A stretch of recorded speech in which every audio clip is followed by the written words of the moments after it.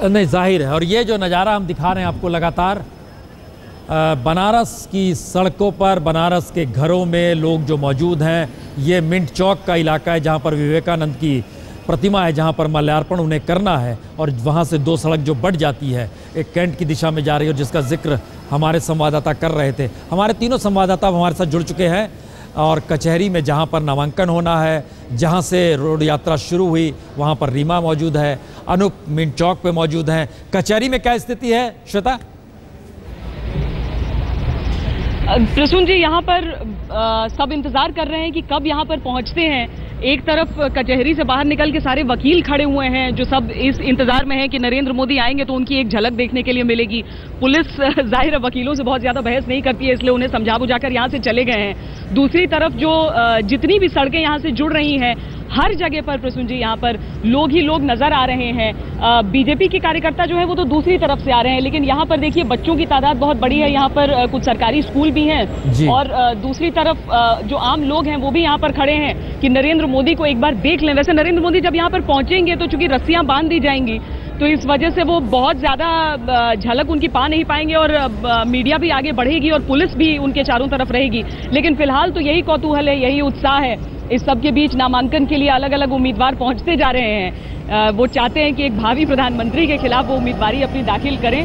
तो national media में वो आज अफसोस अभी बहुत ज़्यादा उन्हें इस बात में कामयाबी मिल नहीं रही है लेकिन। हार पहन पहन के प्रसून जी तब से कचहरी में आने वालों का सिलसिला यहाँ पर जारी है। चलिए जादुई व्यक्तित्व हो गया है बड़ा हम लौटेंगे। रीमा आपके पास भी लौट रहे हैं दर्शकों को बता दें। ये बड़ा महत्वपूर्ण है एक जादुई व्यक्तित्व हो जाता है। अटल बिहारी वाजपेयी फ़िल्म खलनायकी में थे अजीत उसके बड़े फ़ैन हुआ करते थे।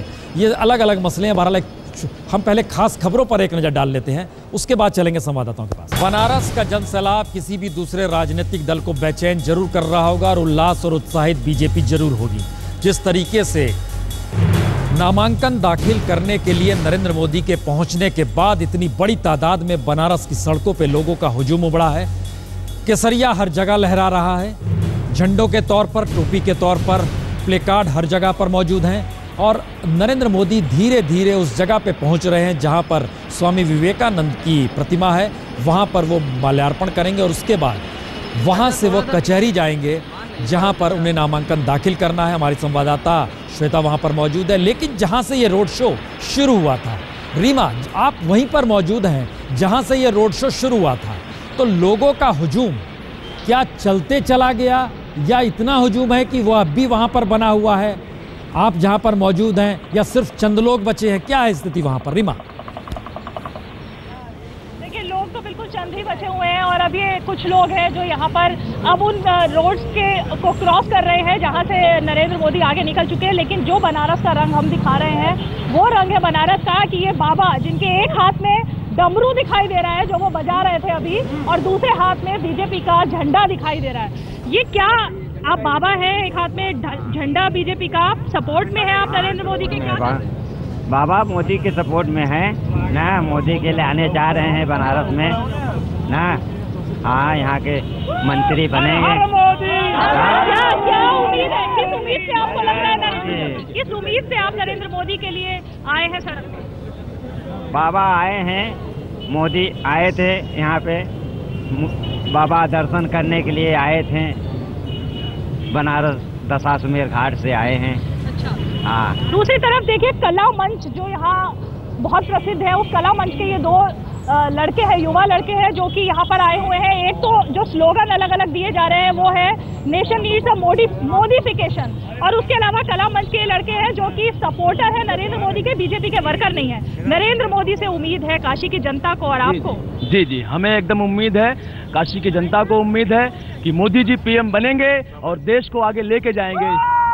कला मंच से आप जुड़े हुए हैं। आपको लगता है कलाकारों के लिए भी कुछ नरेंद्र मोदी करेंगे? जी एकदम एकदम कलाकारों के लिए नरेंद्र मोदी जी करेंगे और कर भी रहे हैं। हम कलाकारों के लिए हम लोग आ, हम लोगों का आजीविका जो होता है वो कला ही है। और मोदी जी ने अभी से ही दिखा दिया कि वो क्या है। हम लोग पर डे आए दिन सुबह और शाम लोगों को बताते हैं कि क्या है मोदी और क्या है और राजनीतिक माहौल क्या चल रहा है हमारे देश का। ये सब। करते हैं। जी जी। तो ये ये जो कलर है वो है बनारस का जो बनारस अलग करता है बाकी जगहों नहीं ये लोग कैसे बताते हैं? क्या गीत गा के बताते हैं रीमा? इनके तरीके क्या है बताने के? गीत गाते हैं तो गीत गा के सुनाएँ बताने के तरीके आपके क्या है कला से कला से आप जुड़े हुए हैं मंच से जुड़े हैं। किस तरह से आप लोगों को बताते हैं क्या गाते हैं नाटक करते हैं जरा बताइए। जी जी हम नाटक भी करते हैं और लोगों को गा के भी बताते हैं कि पीड़ित है भारत की जनता अब उसका उद्धार चाहिए। देश जूझता महँगाई से उसमें तुरंत सुधार चाहिए। एक लाइन और है। कहते लक्ष्य के साथी भैया लौह पुरुष सरदार चाहिए। भ्रष्टाचार मिटाने को अब मोदी की हुंकार चाहिए। नारा खुद आप दे रहे हैं। जी हम दे रहे हैं और हम हम अपनी तरफ़ से सभी दूसरे पार्टियों के लिए एक चीज़ बोलना चाहेंगे कि जिन्हें अंदाज नहीं है मौजों का वो बैठ किनारे देखेंगे। हम तूफानों से खेले हैं और अंगारों पे दौड़ेंगे। इस माध्यम से घाट पर जाते हैं ये लोग और जनता को बताते हैं कि किस तरह से जो मोदी सुनना चाहते हैं वो नारा ये लोग दे रहे हैं। नहीं रीमा इनसे पूछिए इन्हें पता है। मोदी भी कवि है उन्होंने भी गीत गाए हैं। वो भी कविता पाठ कर रहे थे यह देश नहीं टिकने दूँगा, ये देश नहीं बिकने दूँगा। उनसे पूछिए जरा, इसे पता है उन्हें कि नहीं? मोदी के बारे में आपको ये पता है कि वो भी कवि रह चुके हैं कविताएँ लिखते हैं कविताएँ बोलते हैं। क्या कभी इस बारे में पता है कि कलाकारों से और कविताओं से वो भी जुड़े रहे जी जी जी एकदम वो कलाकारों का स्वागत करते हैं। वो हर साल गुजरात महोत्सव कराते हैं और हमारी संस्था लक्ष्य नाट्य कला मंच इस बार अक्टूबर में गुजरात महोत्सव में जा रही है। हमारी टीम ने वर्ल्ड रिकॉर्ड भी बनाया है। छत्तीस चौंतीस घंटे लगातार प्लस इंग्लैंड के रिकॉर्ड को हम लोग तोड़ा गया है लगातार नाटक करके। श्री श्री नागे नाटक मंडली। आपका दिल जुड़ा जी जी जी जी एकदम। अब रीमा एक बार जरा कैमरा खोल के दिखा दीजिए आप जिस चौक पे खड़ी हैं, वहाँ कितनी बड़ी तादाद में लोग हैं या नहीं है? क्योंकि लोग देखना भी चाहते हैं, वहाँ से कारवां गुजर गया तो बचा कौन?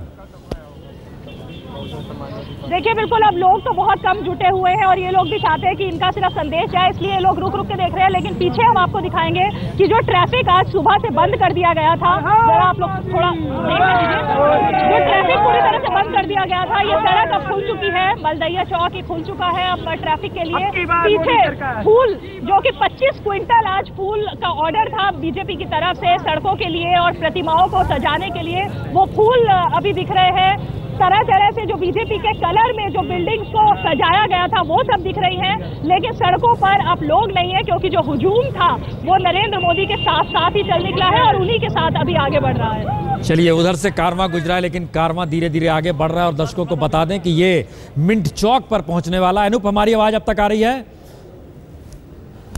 अच्छा अनूप के पास पहुँचते हैं, लेकिन कचहरी में जहाँ पर सुरक्षा बंदोबस्त पुख्ता है, श्वेता, आप वहाँ पर हैं और दो जानकारी आप लगातार दे, बोल रही हैं। आपने लगातार कहा, यहाँ पे वकील नरेंद्र मोदी को देखना चाहते हैं।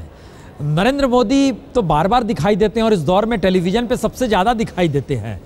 तो उससे इतर भी लोग देखना चाहते हैं। प्रसून जी, यही तो होता है ना कि आप सिल्वर स्क्रीन पर किसी हीरो को देखते हैं तो आप सोचते हैं कि अगर वो सामने आ जाए तो उसके लिए भीड़ क्यों उमड़ती है कि सामने से कैसा दिखता है? जैसा टीवी पर देखता था क्या वैसा ही दिखता है? और यही जिज्ञासा है जो सारे वकील हैं, वो यही कह रहे हैं कि हम सामने से एक नज़र देखना चाहते हैं कि नरेंद्र मोदी कैसे दिखते हैं। और सबसे करीबी वही देख पाएँगे क्योंकि बाकी सबको तो बैरिकेड के पार छोड़ दिया जाता है। लेकिन ये सब अपनी दफ्तर के जो कचहरी है, उसके ग्रिल के ऊपर खड़े हो गए हैं, ताकि वो बेहद नज़दीक से देखा, देख लें और उस तरफ़ कोई रस्सी नहीं लगने वाली है। तो इसीलिए जितने भी लोग हैं प्रसून जी, यहाँ पे वो सारे इसीलिए आए हैं कि एक बार सामने से देखें। साक्षात मोदी को देखना चाहते हैं वो। बहुत सारे उम्मीदवार जा रहे हैं प्रसून जी, और वो कोशिश करते हैं कि जो लोग हैं, क्योंकि किसी के पास भी कोई झंडा नहीं है, कोई टोपी नहीं है भाजपा की, इसीलिए वो कोशिश करते हैं कि उनकी तरफ़ जाकर वो थोड़ा सा नामांकन के साथ साथ प्रचार भी कर दें। लेकिन जैसे ही वहाँ पर पहुँचते हैं, वहाँ पर हर हर मोदी के नारे होने लगते हैं। वडोदरा, चूँकि गुजरात में पढ़ने की वजह से, प्रसून जी, शायद मोदी की बात ज़्यादा सुनते हैं, वहाँ पर हर हर मोदी की जगह सब जन जन मोदी कहते हैं। लेकिन अ, महादेव की नगरी ने हर हर महादेव के साथ हर हर मोदी का नारा छोड़ा नहीं है चाहे पार्टी में किसी ने भी कुछ भी कह दिया हो और कम से कम कचहरी के इर्द गिर्द ऐसी ही भीड़ नज़र आती है। तो क्या ये माना जाए कि एक नेता की छवि एक हीरोइक छवि में बदल गई है और जनता उसे अब एक नायक के तौर पर देखने लगी है और बनारस में लोगों का जमावड़ा वकीलों तक का जमावड़ा इसलिए है कि वो मान रहे हैं कि किसी भी सिल्वर स्क्रीन के हीरो से कहीं ज़्यादा लोकप्रिय अंदाज में मोदी की पहचान हो चुकी है। शायद हाँ प्रसून जी, क्योंकि मुझे श्वेत पत्र के लिए मैं पिछले चार दिन से अलग अलग गलियों में घूम रही हूँ यहाँ के। वहाँ लोगों से अगर बातचीत होती है, उनका विरोध भी है।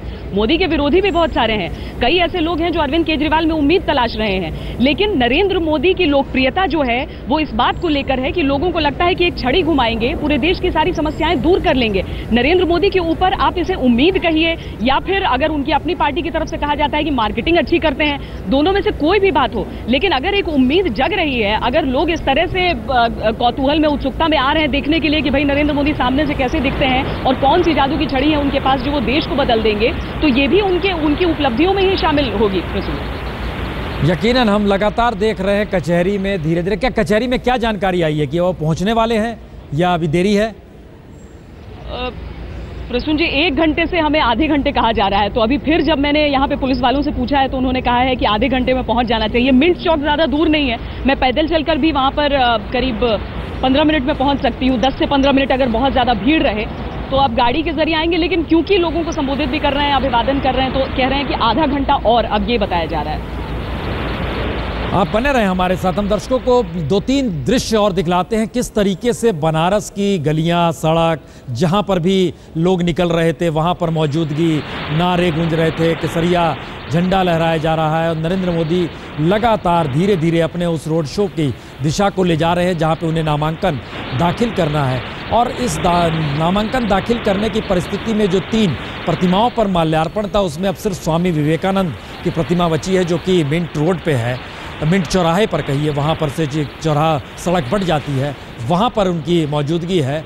लेकिन ये सारे संदेश जो निकल कर आ रहे हैं, उसमें एक बात बहुत साफ़ है कि नरेंद्र मोदी की अपनी छवि, इस दौर में जब राजनेताओं की छवि खत्म होते चली जा रही थी, ऐसे में नरेंद्र मोदी की छवि एक ऐसे व्यक्ति के तौर पर बनी जो कि एक हीरोइक छवि के साथ है। अगर इसकी बात करें तो शुरुआती दौर में आप कह सकते हैं कि केजरीवाल को लेकर दिल्ली में ये बात सामने आ रही थी।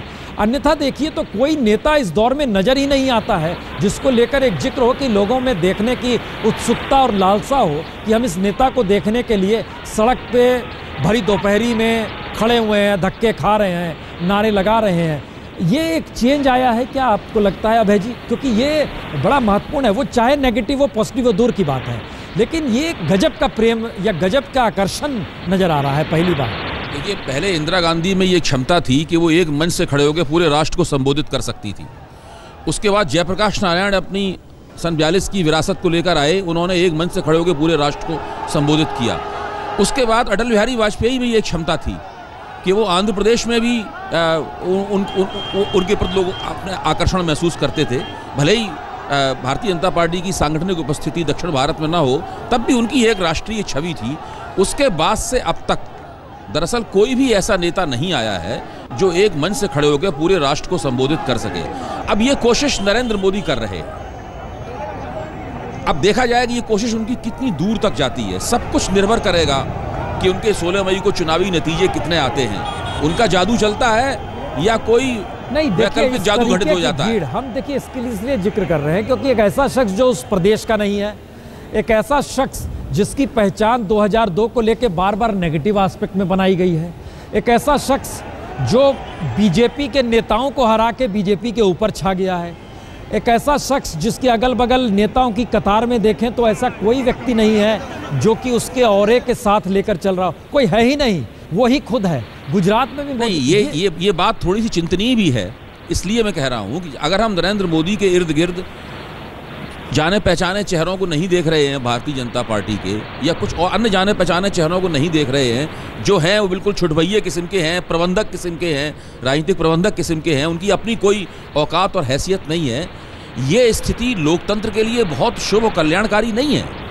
अगर आप अपनी पिछली पीढ़ी, नेताओं की पिछली पीढ़ी की विरासत को अपने कंधों पर लेके आगे बढ़ाने का दावा नहीं कर रहे हैं तो आपके ऊपर ये ज़िम्मेदारी होती है कि आप बिल्कुल एक नई विरासत गढ़ेंगे। आप एक नई विरासत गढ़ने जा रहे हैं। अब ये बात जो है, वो बहुत भविष्य के गर्भ में है, वो नई विरासत क्या होगी? वो कैसे होगी?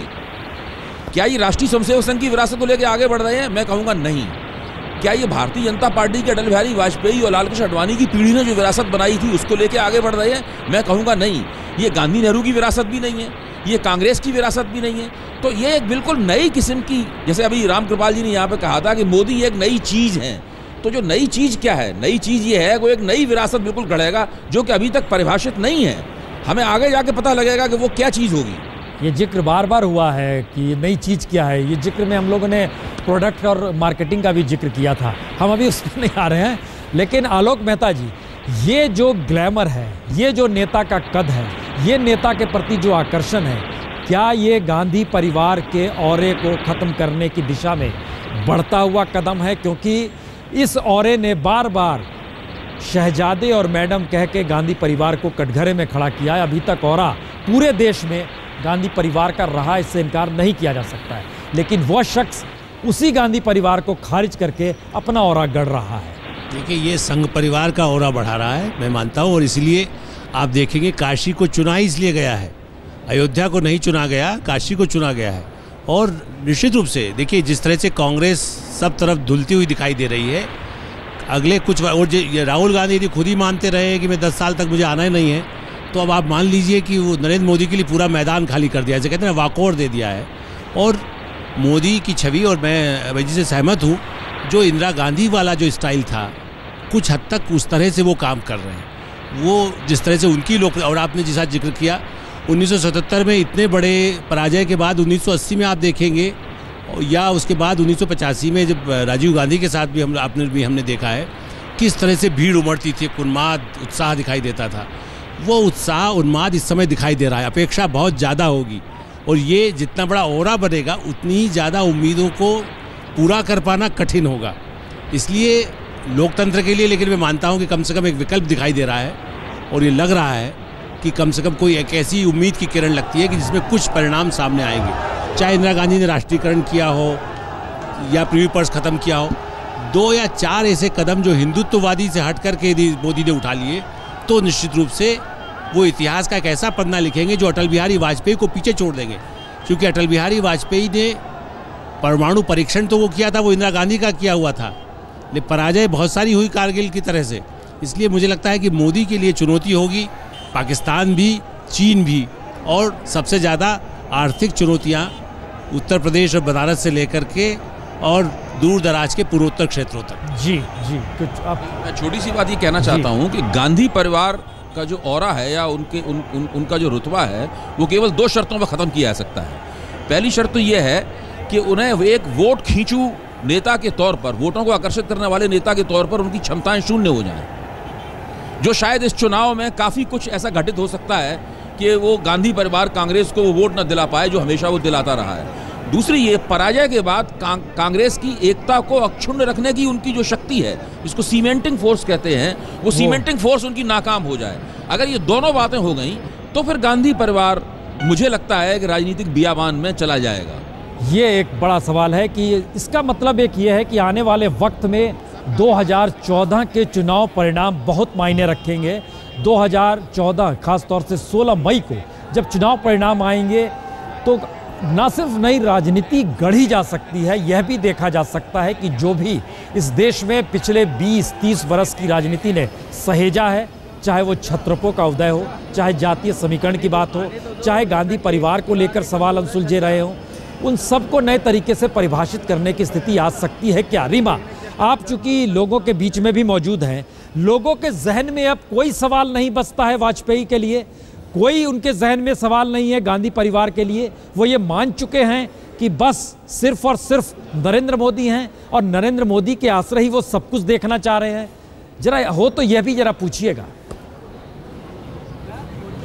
बिल्कुल देखिए, लोगों से अगर बात करें तो चर्चा में अब गांधी परिवार तो हमें लगता है बनारस में तो है ही नहीं, क्योंकि बनारस में अगर चर्चा होती है अब अगर नरेंद्र मोदी के सामने किसी की तो वो अरविंद केजरीवाल है। केजरीवाल के बारे में लोग चर्चा करते हैं, दो गुट भी बन जाते हैं, लेकिन उसके बाद इसी बात पे बहस खत्म होती है कि नरेंद्र मोदी ही आगे चल रहे हैं। लेकिन यहाँ पर ज़रूर सपोर्टर्स क्योंकि है तो ये तो ज़ाहिर तौर पर ये नरेंद्र मोदी के बारे में बात करेंगे। लेकिन गांधी परिवार क्यों इस पूरे हम देख रहे हैं बनारस में कोई गांधी परिवार से कोई सवाल नहीं पूछना चाहता? गांधी परिवार स्वयं ये स्वीकार कर चुका है कि हम संपूर्ण संपूर्ण रूप से पूरे राष्ट्र से समाप्त होने की कगार पे हैं। इसलिए वो यहाँ कोई किसी भी प्रकार का जवाब देने के लिए आना ही नहीं चाहते हैं। और अगर मीडिया जवाब कर जवाब उनसे मांगने का प्रयास भी करती है तो वो किसी न किसी बहाने से कतरा जाते हैं। नहीं लेकिन आप लोगों ने वोटिंग हुई नहीं है पोलिंग के पहले ही रिज़ल्ट से पहले ही आप लोग बिना किसी सवाल के बिना किसी बात के मोदी को मान चुके हैं आप? बिल्कुल मोदी ही हम लोग युवा वर्ग हम यही मानते हैं कि मोदी ही केवल एक ऐसे व्यक्ति हैं जो देश का विकास कर सकते हैं। कांग्रेस सरकार तो बिल्कुल फेल हो चुकी है भ्रष्टाचार से लेकर बेरोजगारी में।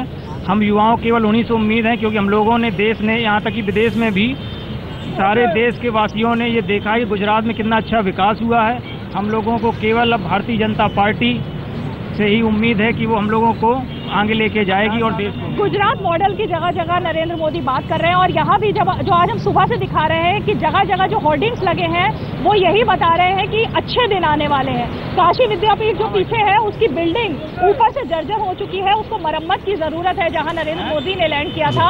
और उसके बाहर बड़ा जो होर्डिंग लगा हुआ है नरेंद्र मोदी का वो यही बता रहा है अच्छे दिन आने वाले हैं। तो जनता को यही संदेश देने की कोशिश इस बार बीजेपी ने की है और इसी वजह से जो मोदी में बीजेपी हो चुकी है उसने जनता पर असर डाला है। चलिए श्वेता आपको नज़र आ रहा है काफिला की नहीं? जी प्रसून जी आपको याद होगा अमित शाह ने कहा था कि जब नामांकन दाखिल करेंगे जो मोदी की लहर है वो सुनामी बन जाएगी। यहाँ पर सुनामी से पहले थोड़ी सी आंधी सी आई और उसके बाद वहाँ से आवाज़ें शुरू हुई। अ, हम बता दें कि यहाँ से पुलिस जो है अब जो कैमरे है वो एक तरफ़ करना शुरू कर दिया है उसने। जितने हमारे लाइव ब्रॉडकास्ट के लिए जो तार बिछी होती हैं वो सारी चीज़ों को किनारे कर रहे हैं। और अ, पर अब पुलिस बल पूरी तरीके से जा रहा है कि लोगों को हटाए और बिल्कुल कोना करने की यहाँ से भी कोशिश की जा रही है। हम अपने कैमरे के ज़रिए आपको दिखाएँगे कि पुलिस वाले अब समझा रहे हैं कि वकील भी जो हैं, वो यहाँ से हट जाएँ, ताकि कोई किसी तरह की बाधा न आए। जो बाहर की तरफ़ है, जो सड़क कैमरे की पहुँच वहाँ तक नहीं होगी प्रसून जी, लेकिन मैं आपको बता दूँ कि जो सड़क मुझे नज़र आ रही है, वहाँ पर गाड़ियों पर लहराती हुई बीजेपी के झंडे दिख रहे हैं। यानी कि जो काफिला का आगे का हिस्सा है, जो जो युवा कार्यकर्ता हैं, जो समर्थक हैं, वो आगे की ओर बढ़ आए हैं क्योंकि मोदी का अगला स्टॉप बस यहीं पर होने वाला है, जहाँ से फिर वो गाड़ी में आएँगे और यहाँ पर आकर, जहाँ पर इस वक्त हम मौजूद हैं, यहाँ से वो पैदल हो जाएँगे अंदर जाने के लिए। तो आहट आ चुकी है, अब किसी भी वक्त वो यहाँ पर पहुँच सकते हैं। संबोधन कितना बड़ा होगा, क्या वो संबोधन करना चाहेंगे यहाँ पर पहुँच के, या फिर रैलियों के लिए अपना वक्त बचाना चाहेंगे, वो बस देखना है। नहीं तो अब बस कुछ वक्त की बात रह गई है, प्रसून।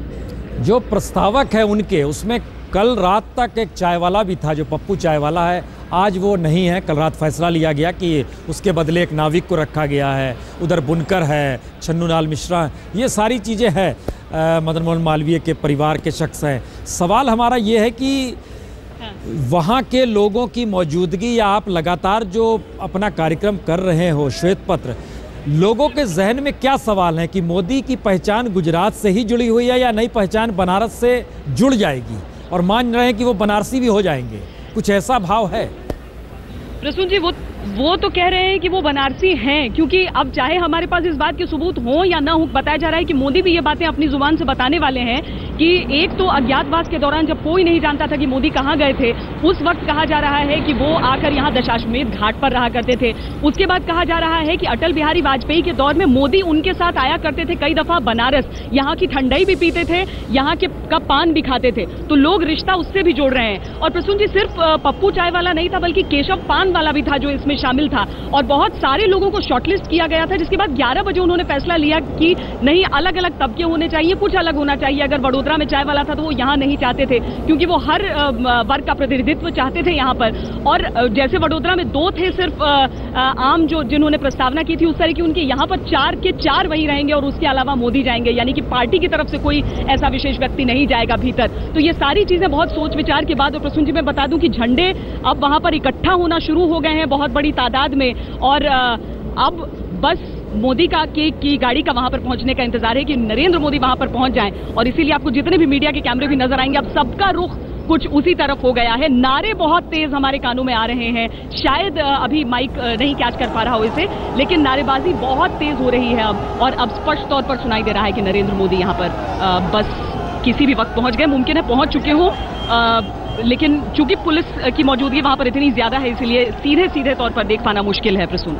यकीनन जो कैमरा है, उस दृष्टि से हम भी देख पा रहे हैं कि केसरिया झंडा जो बीजेपी का अपना झंडा है, वो लहरा रहा है। गाड़ियों का काफिला धीरे धीरे आगे बढ़ रहा है। बनारस में बीते कई वर्षों से या कहें जब से चुनाव हुए हैं, इस तरीके की स्थिति बनारस ने श्वेता देखी नहीं है।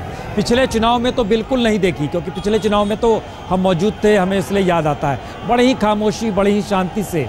उससे पहले भी, कभी भी इस तरीके का नामांकन बनारस में लोगों ने देखा नहीं और सामान्य तौर पर चुनाव में कूदने के लिए प्रधानमंत्री पद के उम्मीदवार के तौर पर 2009 में लाल कृष्ण अडवाणी भी इस तरीके से नहीं अपना जलवा दिखा पाए थे। मनमोहन सिंह तो मान लीजिए चुनाव ही नहीं लड़ते हैं। तो ये एक मैसेज तो बड़ा ज़रूर है कि जिस तरीके से हम दर्शकों को बताएँ कि वो अब चूँकि एक कचहरी का परिसर है, जहाँ पे हमारी संवाददाता श्वेता है और वहाँ से ये कैमरा हम देख पा रहे हैं, कचहरी के बाहर इसका मतलब एक ये हो रहा है कि दरअसल संबोधन जो है, अगर कुछ भी अपनी बात कहेंगे, नरेंद्र मोदी तो नामांकन दाखिल करने के बाद वो लौटते समय कह सकते हैं। वो नहीं चाहते हैं कि किसी तरीके से भी कोई अड़ंगा आए। चुनाव आयोग की नज़र बड़ी पैनी है। ज़्यादा संख्या में लोग नहीं होने चाहिए। कितनी बड़ी तादाद में लोगों की मौजूदगी किस क्षेत्र में है, कोई का उल्लंघन तो नहीं हो रहा। इन सबको लेकर चुनाव आयोग ने बड़ी पैनी नज़र रखी है। इसीलिए कचहरी के क्षेत्र में और नामांकन करने के, वडोदरा में भी नरेंद्र मोदी ने नामांकन दाखिल करने के बाद सिर्फ़ ज़िक्र किया था उन्होंने क्यों? जो वहाँ का जो गायकवाड़ परिवार है, उसके साथ जोड़ा, चाय वाले को जोड़ा और एक आशीर्वाद मांगा था कि आप हमें जिता दीजिए। यहाँ पर वो क्या कहेंगे, ये इंतज़ार करना होगा, लेकिन नामांकन दाखिल करने के बाद ही हो सकता है वो मीडिया को देखकर या मीडिया की मौजूदगी में मीडिया हर जगह ही मौजूद है, चप्पे चप्पे पर मीडिया भी मौजूद है, हमारे रिपोर्टर भी लगातार मौजूद हैं। और अनुराग के पास चलते हैं, अनुराग उस भीड़ के भीतर मौजूद है। अनुराग नरेंद्र मोदी नॉमिनेशन फ़ाइल करने के लिए बनारस में हैं और नॉमिनेशन फ़ाइल करने से पहले रोड शो की शक्ल में कचहरी तक पूरा जुलूस जा रहा है। देख सकते हैं किस तरीके का समर्थन नरेंद्र मोदी को मिल रहा है। हज़ारों की तादाद में अपने समर्थकों के साथ खुले वाहन पर सवार नरेंद्र मोदी सबका अभिवादन स्वीकार करते हुए, सभी लोगों को हाथ हिलाते हुए अभिवादन स्वीकार करते हुए और जिस तरीके से समर्थन मिल रहा है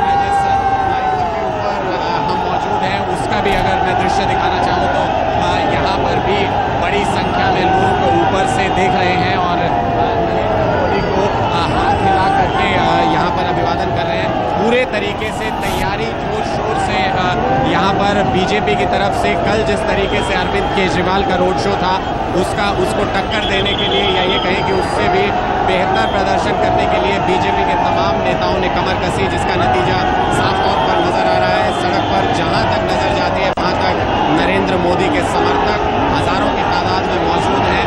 कुछ लोग जो यहाँ पर हैं उनसे बात करने की कोशिश करते हैं। किस तरीके का समर्थन मिल रहा है नरेंद्र मोदी? यहाँ से जीत रहे हैं। यहाँ की सबकी हवा खराब हो चुकी है। नरेंद्र मोदी तो पूर्ण बहुमत से आएँगे कि कल हम देख रहे थे अरविंद केजरीवाल का रोड शो भी इसी तरीके से था। तो भीड़ से कैसे अंदाज़ा लगता है कि समर्थन मिल रहा है? कहोगे कि मोदी को इस बार लाना है